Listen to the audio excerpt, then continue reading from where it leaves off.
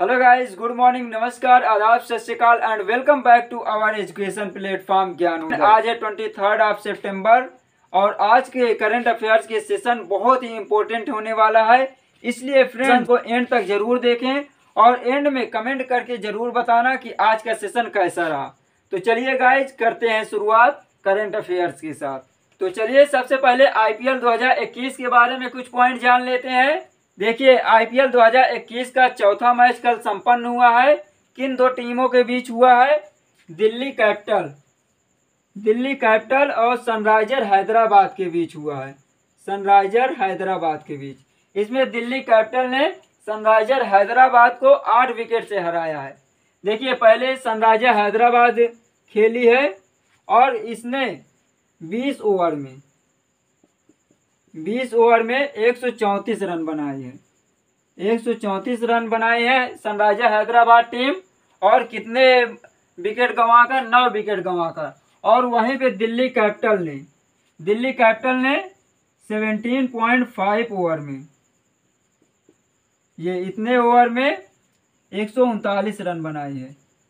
एक सौ उनतालीस रन, दो विकेट के नुकसान के साथ एक सौ उनतालीस रन बनाए हैं और इसको आठ विकेट से हराई है। और देखिए, इसी जीत के साथ दिल्ली कैपिटल, जो पॉइंट टेबल होती है, उसमें टॉप पर पहुँच गई है। और इससे पहले चेन्नई सुपर किंग थी, जो अंक तालिका होती है उसमें टॉप पर थी चेन्नई सुपर किंग, और इस समय दिल्ली कैपिटल हो गई है। यानी कि सबसे ऊपर दिल्ली कैपिटल हो गई, उसके बाद चेन्नई सुपर किंग हो गई और तीसरे नंबर पे है आरसीबी। यानी रॉयल चैलेंजर बेंगलुरु, और सबसे लास्ट में है सनराइजर हैदराबाद। यानी आठ टीमों में से सबसे आठवें नंबर पर इस समय कौन है? सनराइजर हैदराबाद है। तो इस समय कितने मैच हो चुके हैं? चार मैच हो चुके हैं। उन्नीस सितंबर को चेन्नई सुपर किंग और मुंबई इंडियंस के बीच हुआ है, जिसमें Chennai Super King Mumbai Indians को 20 रनों से हराया है। तो इस समय 2021 के आईपीएल में, यानी आज तक, जीतने वाली टीम में कौन कौन है? चेन्नई सुपर किंग है कोलकाता नाइट राइडर्स है, दिल्ली कैपिटल्स है और राजस्थान रॉयल्स है। तो चलिए देखते हैं क्वेश्चन। अभी हाल ही में कौन सी अंतरिक्ष यान कंपनी केवल आम नागरिक को अंतरिक्ष यात्रा पर भेजकर इतिहास रच दिया है? Option A, Virgin Galactic, option B, Blue Origin option C Space X और ऑप्शन डी, इनमें से कोई नहीं। तो अभी इन तीनों कंपनी में से कौन सी कंपनी है जिसने अंतरिक्ष यात्रा पर केवल आम नागरिक को भेजा है। तो इसका करेक्ट आंसर है option number C Space X देखिए स्पेस एक्स के सीईओ कौन है? सीईओ यानी चीफ एग्जीक्यूटिव ऑफिसर है एलन मस्क एलन मस्क और इन्होंने अभी हाल ही में 16 सितंबर गुरुवार को अमेरिका के अमेरिका। अमेरिका के फ्लोरिडा। फ्लोरिडा। फ्लोरिडा स्थित। स्थित Kennedy. Kennedy Space Center. Space Center. ये कैनेडी स्पेस सेंटर से अपने क्रू ड्रैगन कैप्सूल को रवाना किए हैं। ये अपने Crew Dragon Crew Dragon capsule, Crew Dragon capsule को चार आम नागरिकों के साथ रवाना किया है। कब? 16 सितंबर को। 16 सितंबर को और सुबह पाँच बजकर पाँच बजकर तैंतीस मिनट पर। इन्होंने रवाना किया है, जिसमें चार लोग थे। देखिए, इसमें दो महिला थी। दो महिला। दो महिला थे और दो पुरुष थे।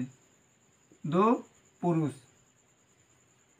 टोटल चार आम नागरिक थे। देखिए, यह इतिहास में पहली बार हुआ है कि जब किसी रॉकेट में मौजूद जितने भी अंतरिक्ष यात्री हैं, वो एक आम नागरिक हैं। पेशेवर अंतरिक्ष यात्री नहीं है। और देखिए, इस क्रू ड्रैगन कैप्सूल को कौन से रॉकेट से लॉन्च किया गया है? Falcon nine.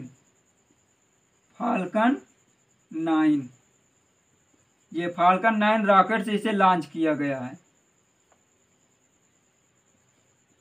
और देखिए, इसके लॉन्च होने के लगभग तीन घंटे में ही इसने पाँच सौ पचासी, पाँच सौ पचासी किलोमीटर ऊंचाई पर पहुँच गए और ये वहीं से, यानी पूरी दुनिया का चक्कर लगाने लगे, परिक्रमा करने लगे। देखिए, जिस मिशन के तहत इनको अंतरिक्ष यात्रा पर भेजा गया है, उस मिशन का नाम है Inspiration Inspiration four Inspiration four इस मिशन का नाम है। इसके तहत इन चारों लोगों को अंतरिक्ष यात्रा पर भेजा गया है। और देखिए, जो चार आम नागरिक अंतरिक्ष यात्रा पर गए थे, उनमें से पुरुषों में जेरेड, इसाक मैन और सियार प्राक्टर थे। और महिला कैटेगरी में कौन थी? हेले, आर्सिनॉक्स और क्रिस सेम्ब्रोस्की थे। तो फ्रेंड, यही है चारों आम नागरिक जो तीन दिवसीय अंतरिक्ष यात्रा पर 16 सितंबर को गए थे। इसमें दो महिला हैं और दो पुरुष हैं। ये चारों लोग अंतरिक्ष यात्रा पर गए थे। और देखिए ये इंस्पायरेशन फोर मिशन के तहत तीन दिनों तक अंतरिक्ष में रहे और पृथ्वी का चक्कर लगाए। देखिए कब से कब तक? 16 सितंबर से 19 सितंबर तक। ये तीन दिनों तक रहे 16 सितंबर से 18 सितंबर तक। क्योंकि 16, 17, 18 ये तीन दिन तक इन्होंने अंतरिक्ष में रहे और 19 19 तारीख को सुबह साढ़े चार बजे। सुबह साढ़े चार बजे ये पुनः वापस पृथ्वी पर आ गए हैं। और ये जहाँ से इनका यान प्रक्षेपित हुआ था, वहीं पे ये वापस आए हैं। कहाँ पे?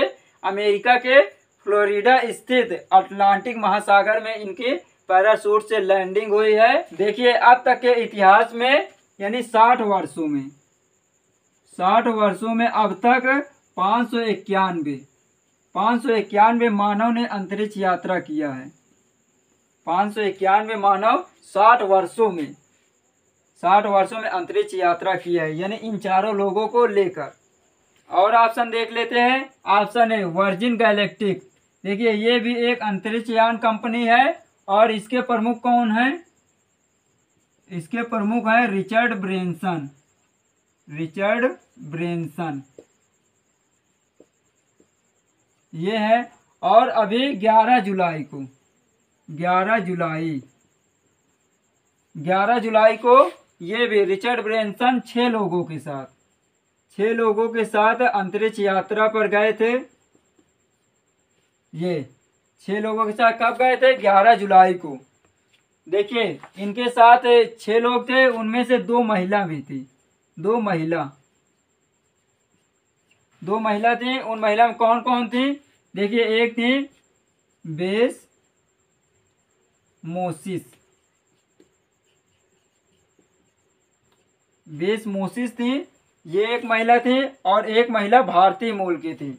भारत मूल की कौन थी? सिरसा बांदला। सिरसा बांदला। ये थी। ये एक इंडियन ओरिजिन की है। ये भी अभी 11 जुलाई को इन्हीं रिचर्ड ब्रेंसन के साथ अंतरिक्ष यात्रा पे गई थी। देखिए, इन्होंने 100 किलोमीटर का टारगेट रखा था कि हम 100 किलोमीटर ऊंचाई तक यात्रा करेंगे, लेकिन इन्होंने टोटल 80 किलोमीटर ही पहुँच सके हैं। 80 किलोमीटर। और देखिए, ये शीर्षम बांधला ये भारतीय मूल की हैं तो कहाँ की है? ये आंध्र प्रदेश की हैं। आंध्र प्रदेश आंध्र प्रदेश के गुंटूर ज़िले की हैं। और देखिए शीर्षा बांधला इनके पिताजी, इनके पिता डॉक्टर मुरलीधर मुरलीधर। डॉक्टर मुरलीधर ये भी एक वैज्ञानिक हैं और इनके दादाजी, इनके दादा, इनके दादाजी बांदला बांदलर रगैया। बांदलर रगैया ये भी कृषि वैज्ञानिक हैं। और देखिए अभी तक सिरसा बांधला से पहले और भारतीय मूल की दो वैज्ञानिक गई थी। देखिए एक गई थी कल्पना चावला। कल्पना चावला।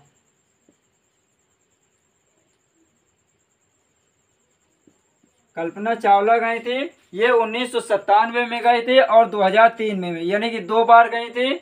और इसके बाद, कल्पना चावला के बाद 2007 में सुनीता विलियम्स गई थी। और सुनीता विलियम्स का रिकॉर्ड है सबसे अधिक समय तक अंतरिक्ष में रहने का। और देखिए, नेक्स्ट ऑप्शन देख लेते हैं, option number B, Blue Origin. ये भी एक अंतरिक्ष यान कंपनी है। इनके मालिक कौन है? देखिए, इनके मालिक हैं अमेजन के जो सीईओ हैं जेफ बेजोस जेफ बेजोस ये जेफ बेजोस की अंतरिक्ष यान कंपनी है। ये है, और ये भी अंतरिक्ष यात्रा में अभी हाल ही में गए हैं, इनसे नौ दिन बाद गए हैं। देखिए, वर्जिन गैलेक्टिक के जो प्रमुख हैं, Richard Branson. Richard Branson. Richard Branson, ये छह लोगों के साथ गए थे ग्यारह जुलाई को। ग्यारह जुलाई के, और इनके नौ दिन बाद जेब बेजोस तीन लोगों के साथ गए थे। यानी इनके साथ तीन और लोग गए थे। कब गए थे? बीस जुलाई को। बीस जुलाई को। कौन कौन गए थे? देखिए, इनके साथ जे बेजोस के इनके भाई गए थे। इनके भाई का नाम है मार्क बेजोस। कौन है? Mark Bezos. मार्क बेजोस गए थे इनके साथ और एक महिला गई थी, बयासी साल की महिला। बयालीस ओ, बयासी वर्ष की वाली फंक वाली फंक ये गई थी। देखिए, वाली फंक जो है, ये 1961 में 1961 में नासा द्वारा एक प्रोग्राम चलाया गया था। क्या नाम था उसका? Mercury seven. Mercury seven. इस प्रोग्राम के तहत तीन महिलाओं को सिलेक्ट किया गया था अंतरिक्ष यात्रा करवाने के लिए। लेकिन यह प्रोग्राम रिजेक्ट हो गया था और अब ये जेब बेजोस के साथ 20 जुलाई को अंतरिक्ष यात्रा पे गए हैं। और देखिए, एक रिकॉर्ड और है जेब बेजोस के साथ कि इनके साथ सबसे कम उम्र के एक लड़का भी गया था अंतरिक्ष यात्रा में। क्या नाम है? देखिए, नीदरलैंड के हैं। कहाँ के हैं? नीदरलैंड। नीदरलैंड के हैं, नाम क्या है? Oliver Oliver Oliver Diamond. ये ओलिवर डायमंड। ये भी गए थे इनके साथ। तो ये हैं सबसे कम उम्र के 18 वर्षीय अंतरिक्ष यात्री ओलिवर डायमंड, जो 20 जुलाई को जेब बेजोस के साथ अंतरिक्ष यात्रा पर गए थे। ये नीदरलैंड के हैं। तो कौन कौन गए थे? मार्क बेजोस जेब बेजोस और बयालीस वर्षीय महिला वाली फंक और ये सबसे कम उम्र के, इनकी उम्र कितना है? अठारह वर्ष थी मात्र। ओलिवा डायन, ये चारों लोग गए थे अंतरिक्ष यात्रा पे। और देखिए, इन्होंने 20 जुलाई को क्यों सेलेक्ट किया था? 20 जुलाई को इसलिए चुना था क्योंकि इसी दिन, यानी 20 जुलाई उन्नीस सौ उनहत्तर को, उन्नीस सौ उनहत्तर को पहली बार अपोलो 11 अपोलो। अपोलो। अपोलो 11 द्वारा नील आर्मस्ट्रांग पहली बार अंतरिक्ष की सतह पे पहुँचे थे। तो इसीलिए ये अपोलो 11 के उतरने की बावनवी बावनवी वर्षगांठ थी इसी दिन। इसीलिए इस दिन को चुना गया था। तो चलिए फ्रेंड आज का सेशन यहीं तक। मिलते हैं अपने नेक्स्ट सेशन में। तब तक के लिए हँसते रहिए मुस्कुराते रहिए। जय हिंद।